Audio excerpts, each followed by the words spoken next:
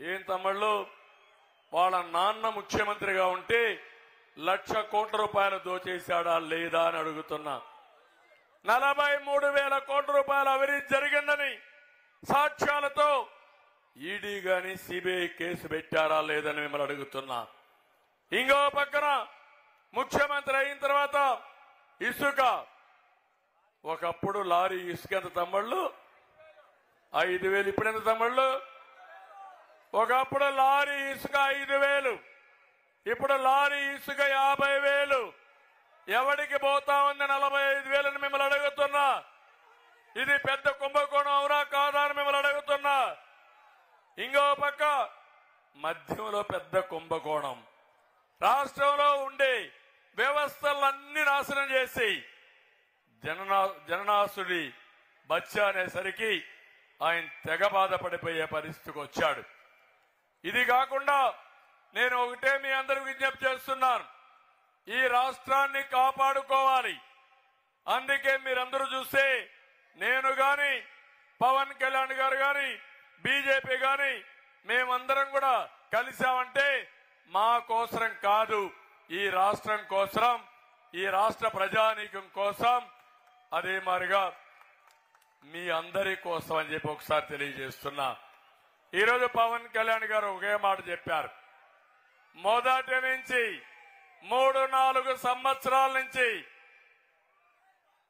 YSR Congress party వ్యతిరేక vote చీలడానికి వీల్లేదని మొట్టమొదటిసారి చెప్పిన వ్యక్తి పవన్ కళ్యాణ్ గారు అని చెప్పి నేను మీకు తెలియజేస్తున్నా.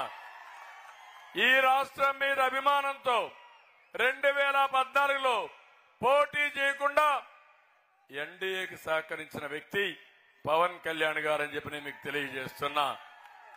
అలాంటి వ్యక్తి ఈరోజు ముందుకొచ్చి పొత్తు పెట్టుకోవాలనుకున్నప్పుడు ఒకరు గొప్ప ఒకరు తక్కువ కాకుండా అందరం కలిసి త్యాగాలు చేశాం. నలభై ఏళ్ళ అనుభవం ఉండే తెలుగుదేశం పార్టీ ఎనిమిది సీట్లు వదిలి ముప్పై ఒక్క అసెంబ్లీ సీట్లు ఎనిమిది పార్లమెంట్లు వదిలిపెట్టి మేము పోటీ చేశాం. ఇంకో పక్క జనసేన ఒక బలం ఉన్నా వాళ్ళు కూడా ఇరవై ఒక్క అసెంబ్లీ రెండు పార్లమెంటుకు పరిమితమయ్యారు. జాతీయ స్థాయిలో ఉండే బీజేపీ ఆరు పార్లమెంట్లు తీసుకుని పది అసెంబ్లీ సీట్లకు పరిమితం అయ్యే పరిస్థితికి వచ్చారు. మా అందరి కల- కలయిక మా కోసరం కాదు రాజకీయ పార్టీల కోసరం కాదు పదవుల కోసరం కాదు.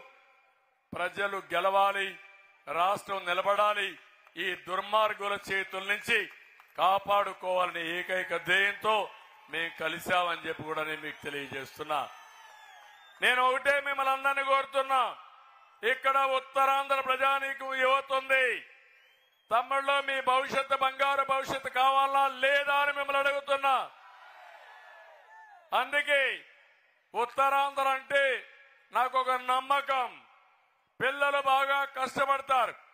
ఆర్మీలో కూడా ఎక్కువ మంది పిల్లలు ఉద్యోగాలు చేస్తారంటే అది ఉత్తరాంధ్ర పిల్లలే ఆర్మీకి పోతున్నారు. దేశాన్ని కాపాడంలో ముందుండేది ఉత్తరాంధ్ర అని చెప్పి నేను మీకు తెలియజేస్తున్నా. ఇదే కాకుండా టీచర్ పోస్టులు వస్తే డిఎస్సికి ప్రిపేర్ అవుతారు. కానిస్టేబుల్ పోస్టులు వస్తే కానిస్టేబుల్ పరీక్షలకు ప్రిపేర్ అవుతారు. గ్రూప్ వన్కు ప్రిపేర్ అవుతారు. గ్రూప్ టూ కు ప్రిపేర్ అవుతారు. ఈ విధంగా ఎప్పటికప్పుడు మీరు పెద్ద ఎత్తున ట్రైనింగ్ తీసుకొని ముందుకు పోతున్నారు. నేను అడుగుతున్నా ఈ రోజు మీ అందరినీ తమ్ముళ్ళు ఐదు సంవత్సరాల్లో డిఎస్సి పెట్టాడా అని అడుగుతున్నా. జాబ్ క్యాలెండర్ పెట్టాడా అని మిమ్మల్ని అడుగుతున్నా. ఒక్కరికి ఉద్యోగం వచ్చిందా అని అడుగుతున్నా. పెట్టుబడులు వచ్చాయా అని అడుగుతున్నా. మీ పిల్లలకు భవిష్యత్తు ఉంటుందా అని అడుగుతున్నా. అందుకే నేను హామీ ఇస్తున్నా యువగాళం కింద మొదటి సంతకం డిఎస్సి పైన మెగా డిఎస్సి పైనే పెడతాను. రెండోది ఎప్పటికప్పుడు ఉద్యోగాలు నోటిఫికేషన్ ఇస్తాం.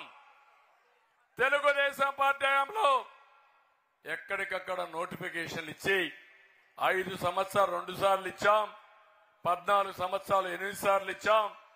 తెలుగుదేశం పార్టీ టైంలో పదకొండు సార్లు ఇచ్చి ఇప్పుడు పనిచేసే టీచర్లు డెబ్బై ఐదు శాతం తెలుగుదేశం ప్రభుత్వం నియమించిన టీచర్లే ఉన్నారని చెప్పి కూడా నేను మీకు తెలియజేస్తున్నా.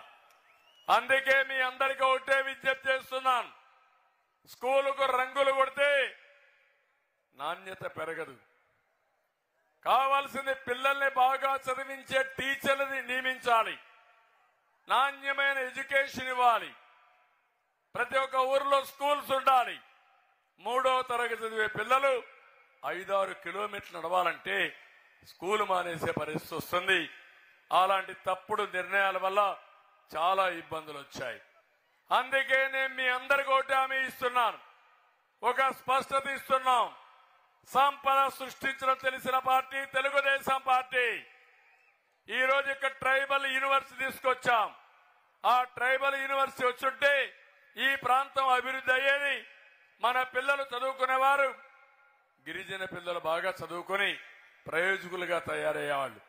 ఐదేళ్ళయింది నేను ప్రారంభించిన యూనివర్సిటీని మధ్యలో వదిలిపెట్టి గజపతి నగరం అని డ్రామాలాడి అసలు కేంద్రం పెట్టే యూనివర్సిటీ రాకుండా చేసిన దుర్మార్గుడు ఈ జగన్మోహన్ రెడ్డి అని చెప్పి కూడా నేను మీకు తెలియజేస్తున్నా.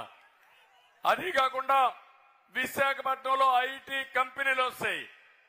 నేను ఆ రోజు ఒకటి ఆలోచించాను. ఏదైతే అదాని డేటా సెంటర్ వస్తే ఆర్టిఫిషియల్ ఇంటెలిజెన్స్ వరకు పోయి ఉంటే ఈరోజు కొన్ని లక్షల మంది పిల్లలకు మన వాళ్ళకు ఉద్యోగాలు వచ్చేటివి. అవి రానియకుండా చేశాడు.